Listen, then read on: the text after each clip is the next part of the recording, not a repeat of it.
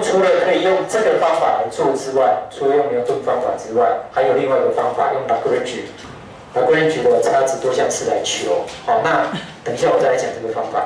那我先把这个他的方法再讲一次。好，这平衡同学的方法好也很棒。那所以 f x 是五次的多项式。那 f 零等于一，f 一等于二，f 二四，f 三等于五，f 四等于六，f 五是八，要求 f 六。好，那所以它有零一二三四五。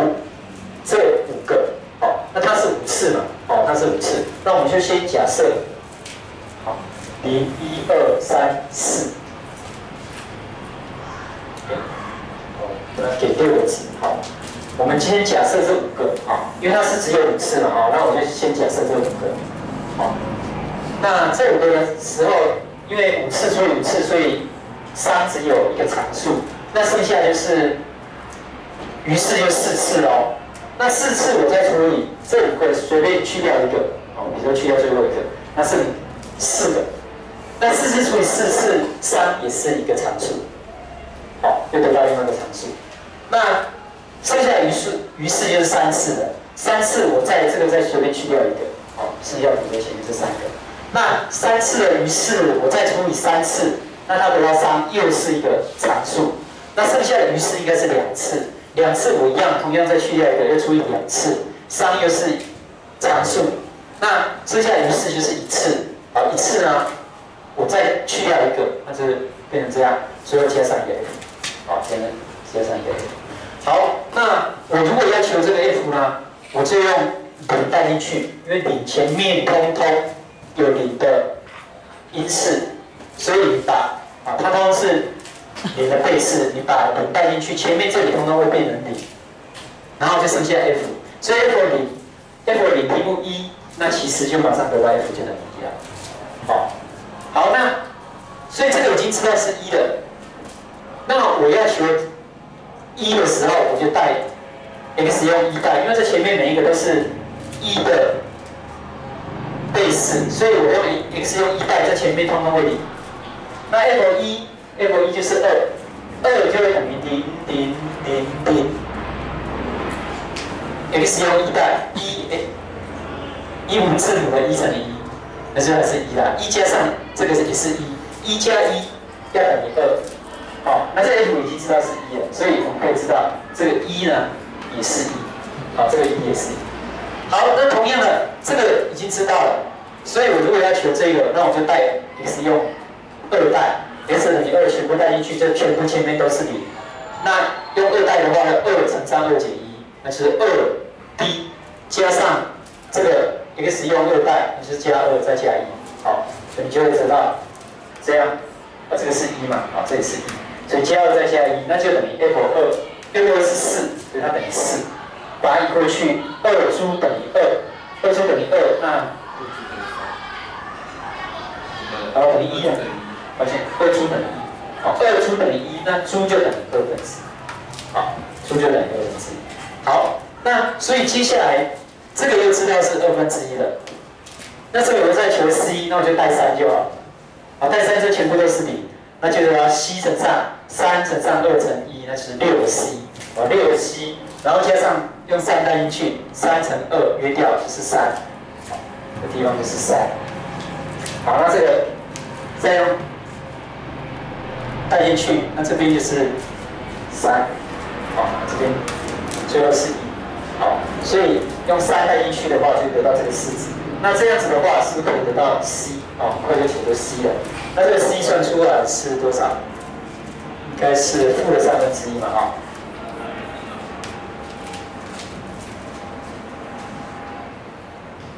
对，负二，好，有 c 等于负二。好，所以这个就知道了。负的三分之一，那接下来再算这两个啊，其实都不会很难算。要算这个的话，就带四，一个是带四，f 四的话，已经知道 f 四是等于六啊，所以这个是六就等于啊六就等于，那这个是一了啊，那这个这个带进去的话，这是六啊，这带进去是负八，就带四进去的时候。那这个就是四三二一，乘起来是二十四 b，那么加上这四三二，四三二再把三约掉，就四二，所以是负八，没错，啊，那这四三约掉二，是不是要六？啊，六，没错，好，一乘以四，那就是四，啊，就是四，最后加一，好，所以就得到这样，那这样子很快我们就算出 b，好，b 算出来呢，啊，应该是八分之一，对不对？一掉等于六，哦，二十四 b 等于六，所以 b 等于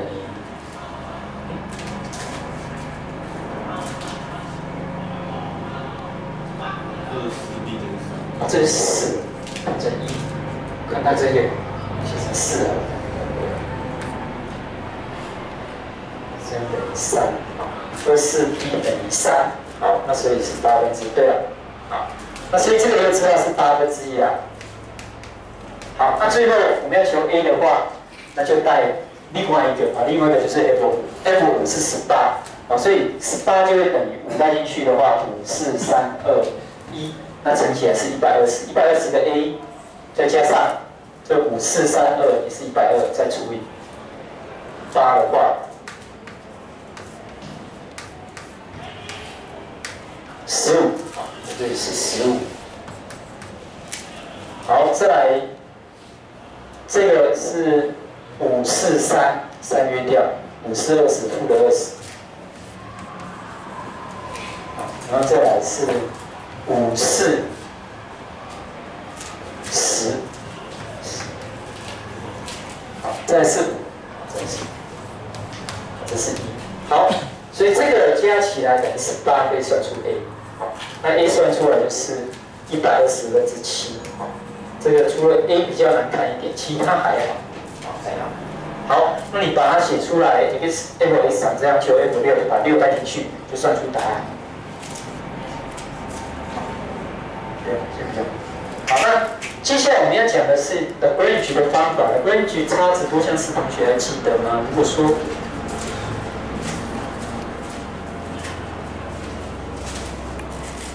好，给你这个。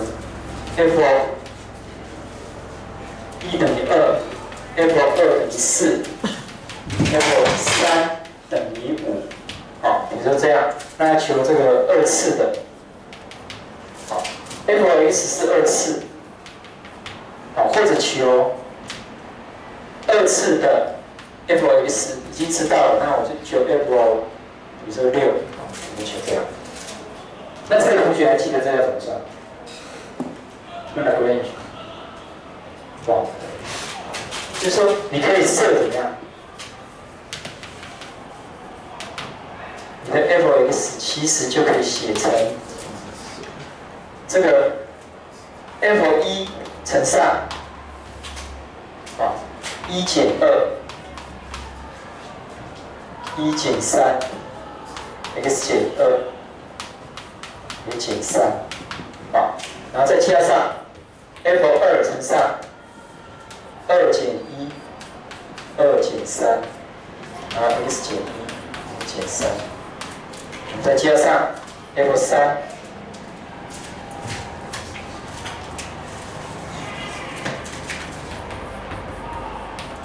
乘上就三减一，三减二，然后 x 减一，x 减二。那你会发现到，就是说，这个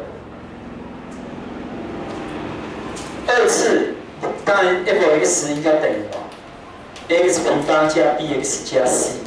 那三个未知数，你给三个点，刚好三个方程式，三个未知数，三个方程式算出来唯一解。好，唯一一条 f(x)，唯一一条 f(x)。那么，你这个。我现在假设这个 f s，你发现它也是二次，最高二次，最高二次，最高二次。如果你能够满足 f 一也会等于二，f 二等于四，f 三也等于五，那这个二次的又通过那三个点，那就表示它跟这个 f(x) 是同一个方程式，同一个函数了，好，就同一个函数。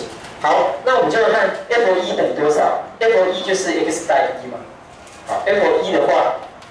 X 带一进去，这一减二一减，哎，这上面都一样，不是约定吗？就是 f 一再加好，一带进去，一减一不是零吗？啊，所以这就不见了。一减一是六的零，这也不见了，那就加加零。所以 f 一就等于你的 f 一。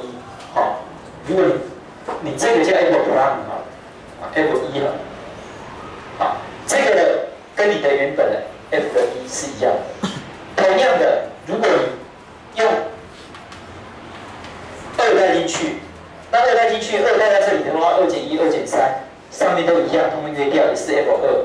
但是二减二是零，二减二是零，所以它也会等于 f 二。同样的，三带进去的话，三减一，三减二，三减一，三减二，约掉等于一，所以等于 f 三。那三减三顶，三减三顶，所以它也是等于。所以你照的这个这个 mx，第一个它是二次，第二个它通过这三个点，那二次通过这三个点只有微节，所以这个就是你的它，这个就是它，这两个是一样。好，那我们要把这个扩大一点，这是二次嘛？那现在我们有二五次，好，那我们要做六次，好，好，那我要用第二种方法。所以解二，那我们就直接设喽。设这 f(x) 是长怎样？好，那它就是 f 零乘上零减一，零减二，零减三，零减四，零减五，然后把零都改成 x。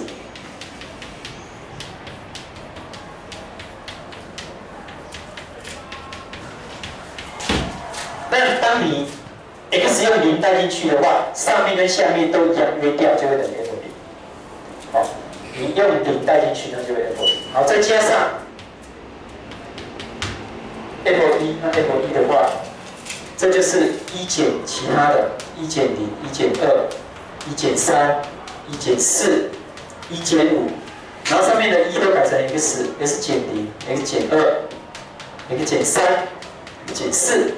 一减五，好，再加上 f 二，好，那一样是二减零，二减一，二减三，二减四，二减五，然后把二改成 x，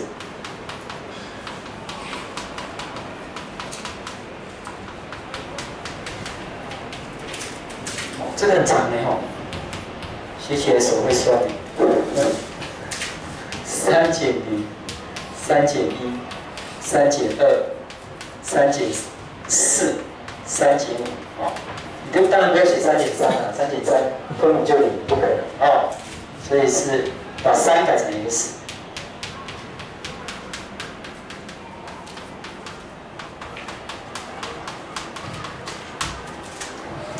好，再加上。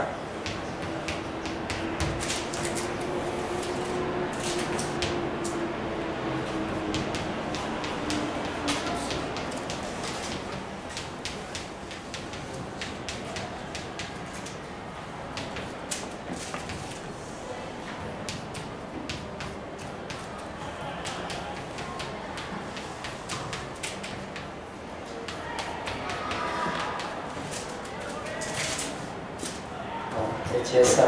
F 五减零，哦，真的很长。